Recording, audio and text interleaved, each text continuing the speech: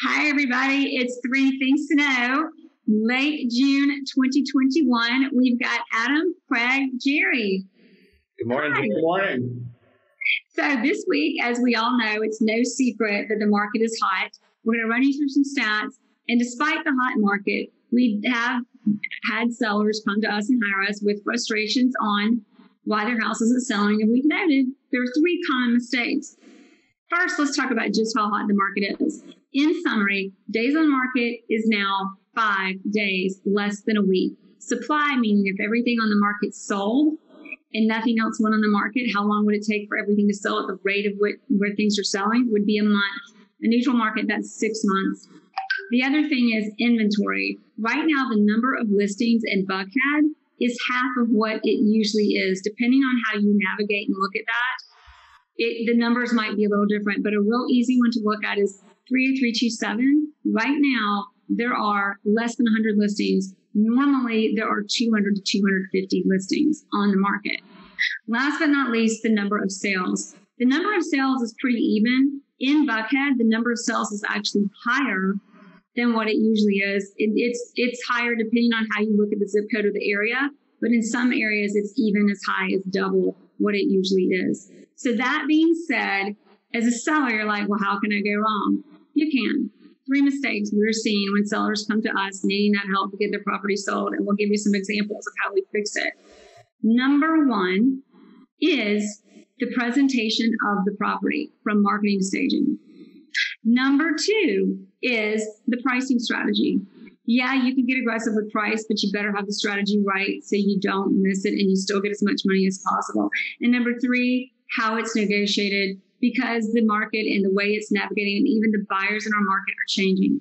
So back to number one, property presentation. Adam, we've had a very interesting recent experience on the presentation of a property and getting $200,000 more for the property as a result. Share a little bit with us.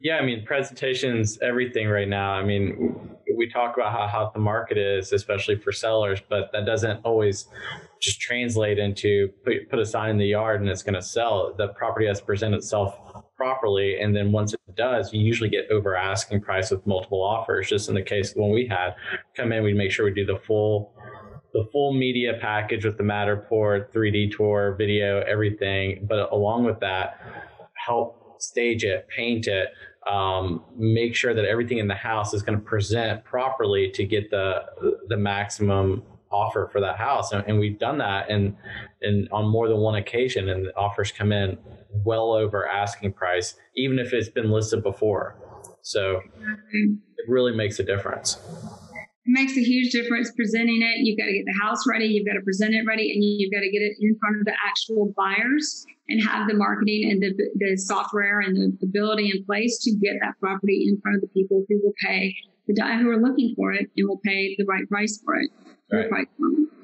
Number two, let's talk a little bit. And Craig, we, we've all got so many stories. We kind of like honed in on a few before we started. But Craig, we had a listing, or you had a listing recently where we had gone in, we had priced aggressively, and it didn't take much. But let's talk a little bit about how we did the pricing strategy on that to make sure that property got sold and sold for asking price. Pricing is really important to anyone right now because everyone thinks that they're going to be overpaying, and that's not necessarily the case. We had a particular property that had numerous showings. The seller wouldn't budge off the list price. We cut it only $25,000 and we had two offers within five days. So the seller has to listen to us and we have to listen to the market. And that's really, it's not hard, but it can reap really big benefits from the seller. And that's why you got to have the right agent in order to get the most for your property right now. And know what moves to make when and how to how to implement. Exactly. Listen. Okay.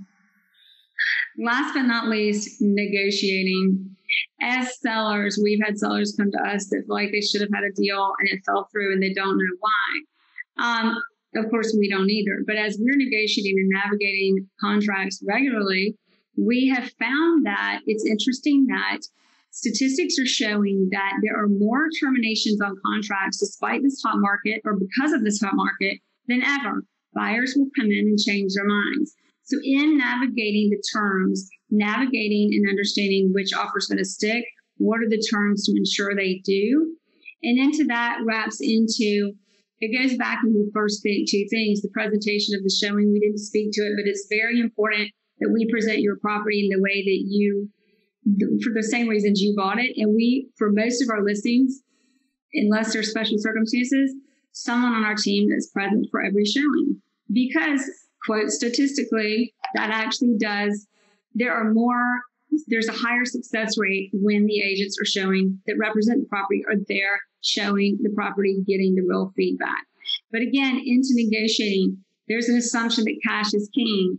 As you said, Craig, the cash shows up when you close. The key is to be sure that it actually shows up when you close. And there are many, many terms that determine what that is and how we negotiate the contracts. And again, navigate the offers, which goes back into getting listings to sell for recent example, $200,000 more, and they've been formally listed very recently. So, three things to know, everybody. Number one, presentation of the property. Number two, negotiate. No, oh, sorry. Number two is actually pricing strategy. And number three is the negotiating. Anything else to add to that? I think you, you, you nailed it.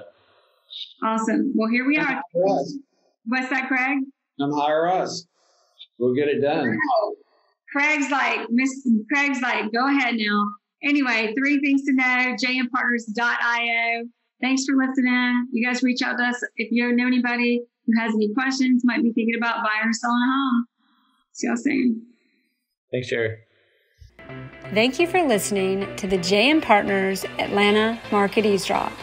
If you like what you heard, please subscribe and share with your friends who might be moving or who just want to keep up with the latest on the Atlanta residential market. You can find us anytime online at jmpartners.io. That's jmpartners.io.